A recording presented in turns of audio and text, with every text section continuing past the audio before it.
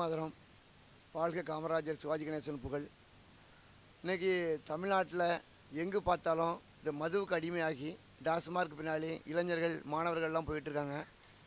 இது இது விஷயமாட்டும் நாங்கள் ஒரு ரெண்டாயிரத்து பதினாலில் தியாகி சசிபெருமாள் ஐயா தலைமையில் கன்னியாகுமரியிலேருந்து தொடங்கி சென்னை வரைக்கும் நூற்றி மூன்று நாட்கள் ஆகஸ்ட்டு அக்டோபர் ரெண்டாம் தேதி காந்தி பிறந்தநாள் கன்னியாகுமரியில் தொடங்கி ரெண்டாயிரத்து பன்னிரெண்டு விவேகானந்தர் பிறந்த நாளில் பன்னிரெண்டாம் தேதி சென்னையில் நிறைவு செய்தோம்.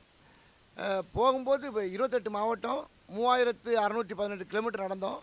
இந்த தமிழ்நாட்டில் வந்து மிகப்பெரிய இலங்கையில் எப்படி ஒரு இனப்படுகொலை நடந்துச்சோ அது மாதிரி தமிழ்நாட்டில் ஐம்பது வருஷமாக சாராய படுகொலை நடந்துகிட்டு இருக்கு.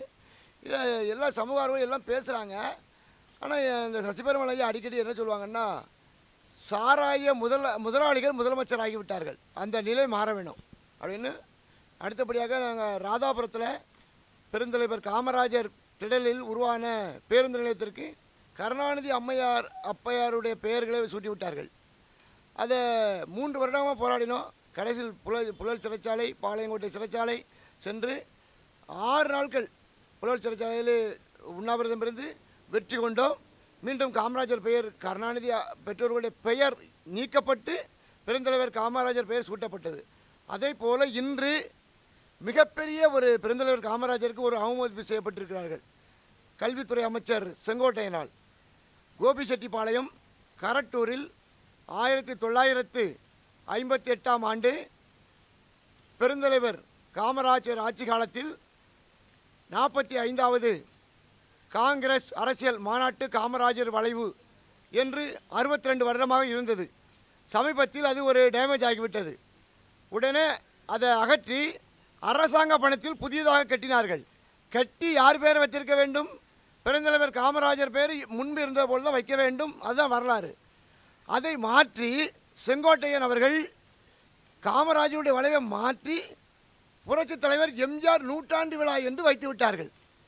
இது எவ்வளோ பெரிய அநியாயம் பாருங்கள் எவ்வளோ பெரிய மோசம். இன்னைக்கு வந்து இதை கண்டித்து தொடர்ந்து ஒன்றரை மாதமாக போராட்டம் வள்ளியூரில் போராட்டம் நடந்துச்சு. வழக்கு பதிவு செய்யப்பட்டிருக்கோம். ஹைகோர்ட்டில் வழக்கு வேற போட்டிருக்காங்க.